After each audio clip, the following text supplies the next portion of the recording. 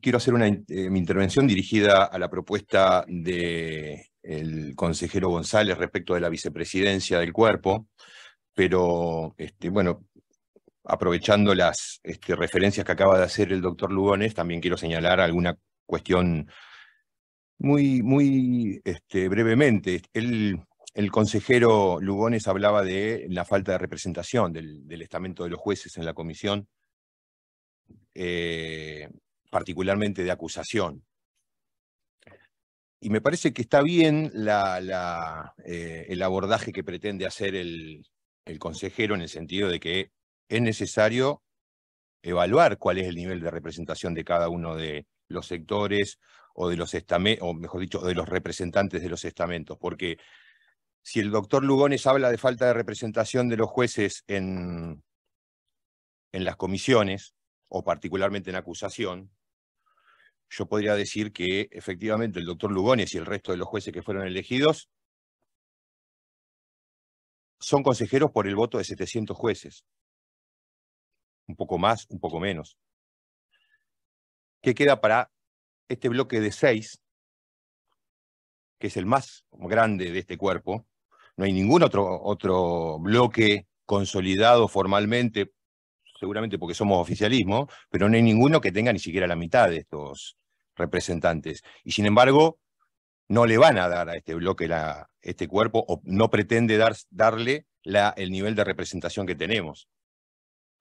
Nosotros somos dos diputados, deberíamos ser dos senadores que representamos a todo el pueblo argentino, a los 47 millones de habitantes, más allá de lo que nos votaron y no votaron. Con esto, y, en esto integro a los senadores y a los diputados de la oposición.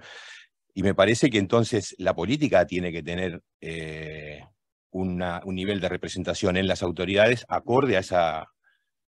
a esa legitimidad. Y la verdad que no lo veo. No veo que en la definición del diputado González respecto de que tiene que ser la doctora Díaz Cordero la vicepresidenta, no está este concepto presente. Lo lamento, lamento que sea la política,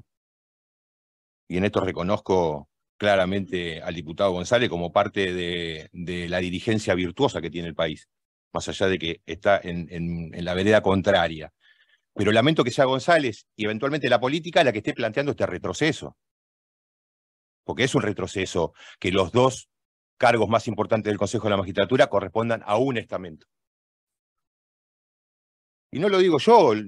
lo dijo usted, presidente, en el fallo de diciembre del 2021, cuando habló del equilibrio, cuando dijo que en función del equilibrio habría que declarar la inconstitucionalidad de la 26080, y habló, o hablaron, los jueces de la Corte, de que el equilibrio, no es un fallo largo, tal como lo ha entendido esta Corte, consiste entonces en la imposibilidad de que alguno de los cuatro estamentos pueda llevar adelante acciones hegemónicas. Y, más adelante dice, en relación con la supuesta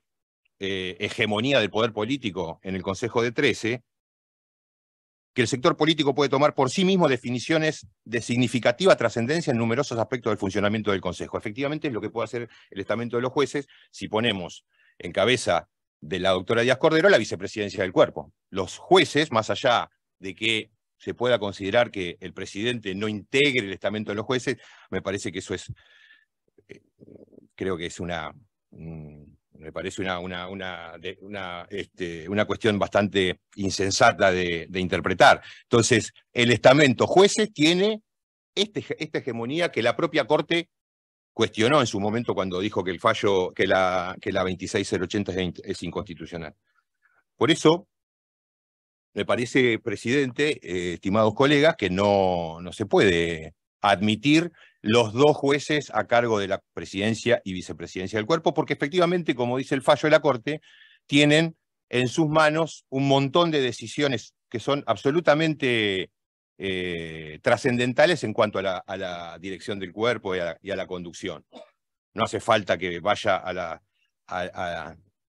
la norma para decir cuáles son las atribuciones, porque dicho sea de paso, también la norma habría que hacer alguna, alguna mención especial respecto de,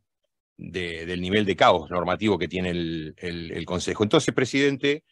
eh, no voy a acompañar el planteo de, del, diputado del consejero González, y sí voy a proponer como vicepresidente del cuerpo a Héctor Recalde. Me parece que no solo cumple con algunas este,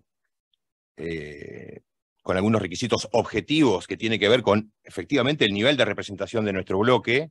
sino también por una trayectoria personal absolutamente intachable en defensa de la democracia, de los derechos humanos, ha sido consejero, ha sido presidente, aunque sea aunque, ah, por, poco tiempo, inclusive el, el, reglamento de, o, la normativa del Consejo de la Magistratura establece que frente a una vacante del presidente tiene que ser la persona de mayor edad la que asuma y este, digamos que, digamos que no,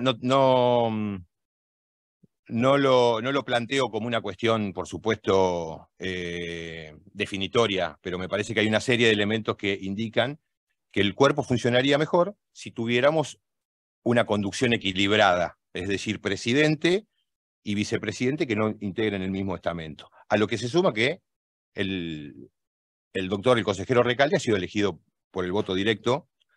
de los abogados, que son muchos más que los 700 jueces que votaron en la elección de este, el estamento pertinente. ¿no? Estamos hablando de una elección de 30.000, aproximadamente 30.000 abogados, que, eh, 36.000, bueno, que eh, que tampoco tiene relación con, el nivel de representación de la política, pero que me parece que también tiene su, su, este, su, legitimidad. Eh, así que, presidente, esa es mi propuesta y la dejo en consideración.